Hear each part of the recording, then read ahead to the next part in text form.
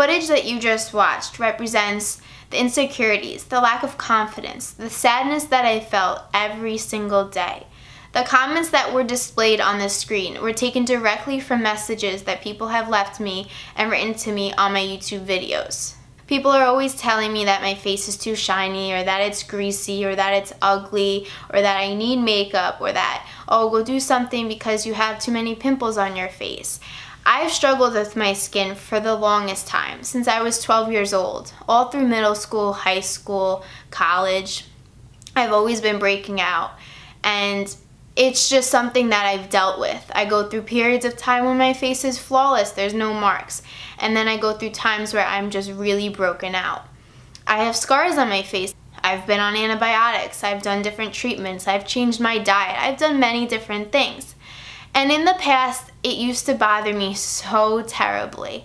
I would be afraid to leave the house without having makeup on. I'd have to cover everything up because I'd be afraid of what people would say. And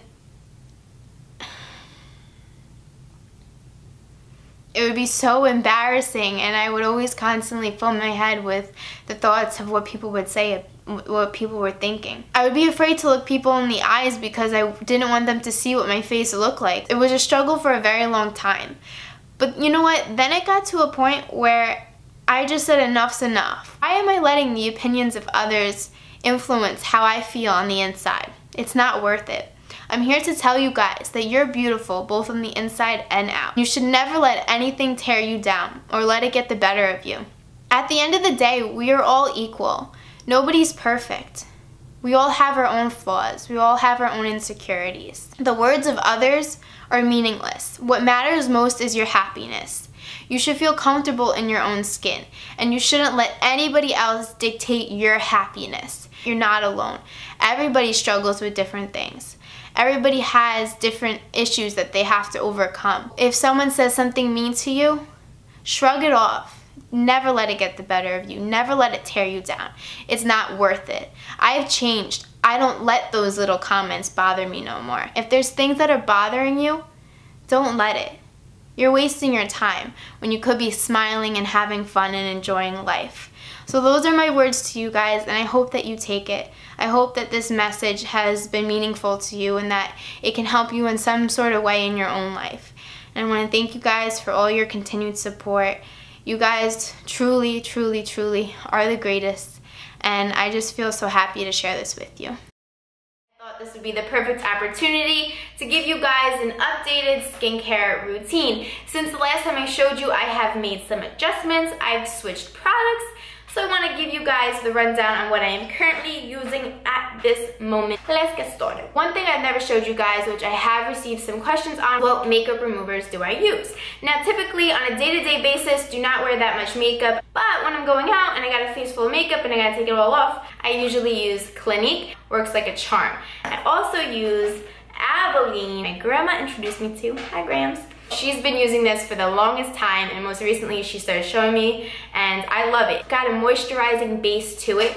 You simply rub it on your eyes and you take it off with a tissue and it removes all the makeup off and it feels so gentle to the skin, which is what I like the most about it. The last go around, I showed you guys the cleanser I was using, which was by Clean and Clear. Not sure if it was this color, um, but it was this product, and I have since stopped using it. And I've moved on to Neutrogena.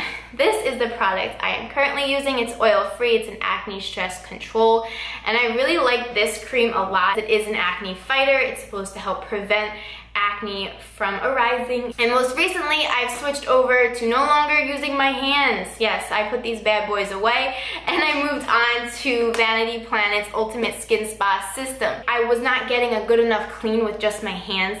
Now, granted, your hands are dirty, so you always have to make sure that they're super clean before you wash your face. I feel like the brush is the most efficient thing for me, especially now because I'm just trying to clear up my face. The system comes with three different brush heads that you can attach. You compare it with your cleanser, which is what I do, and it has two different speeds. I just rinse my face with some water, I apply the cleanser onto the brush, and I just move it in a circular motion. This one right here, that's the exfoliating brush. Now that's awesome if you have dry skin. I like to exfoliate to help prevent my pores from getting clogged. It's also great to remove any dead skin cells, which I currently have on my chin. My skin keeps flaking off. So that's what I like to do to remove all that, remove the debris. It uncovers fresh new cells and it just leaves your skin feeling so healthy and smooth. Now the next brush is the silicone one. It's super gentle. It allows for a more enhanced absorption of the cleaning products that you're using on your face. Is the one that I use the most. The bristles, oh my gosh guys, feels amazing. I enjoy washing my face so much more now. It just feels so nice. It's like a massage basically. I have oily skin so it's imperative for me to get all that junk that's just laying on my face from all day to get it off. It helps prevent the buildup of all the bacteria that's going to make me more prone for breaking out in the future helps with my dry skin, helps with my oily skin, helps prevent breakouts. If you guys want to check out the Skin Spa system, I'll be leaving a link to that product in the description box down below.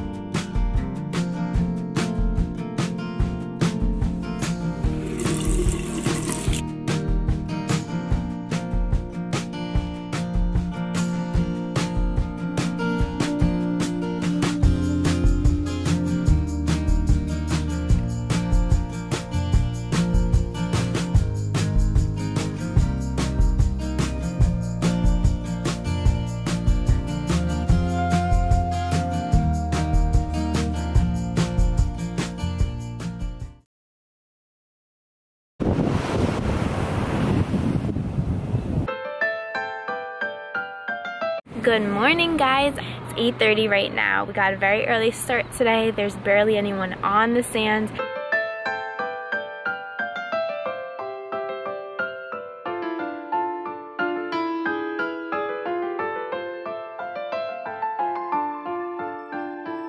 I found Patrick the star. Look at this massive hole that they made. That's big! It's me and I'm there. Hey. I can't see anything. Say hello. Hey, how's it going? Where's your body? I don't know. I can't feel anything below my neck. Can you really not get up?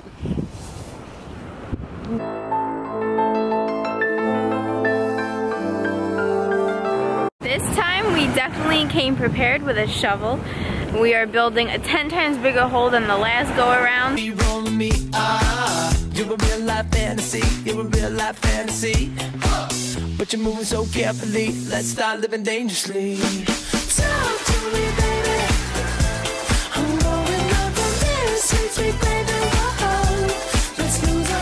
Walking to the car right now.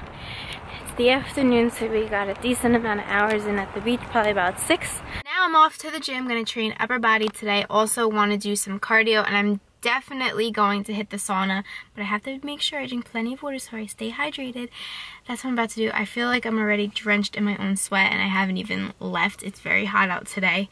Wish me luck and I will see you on there.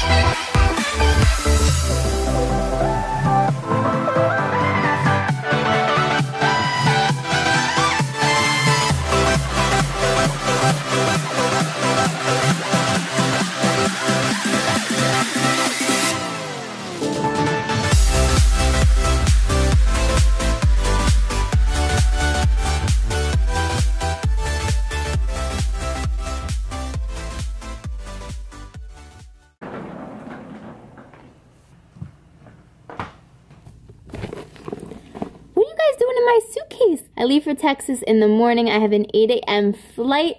I gotta quickly get all this together. Of course, I waited to the last minute, but I am super excited to be leaving and heading out there. I cannot wait. We'll see you guys in Texas in the next video.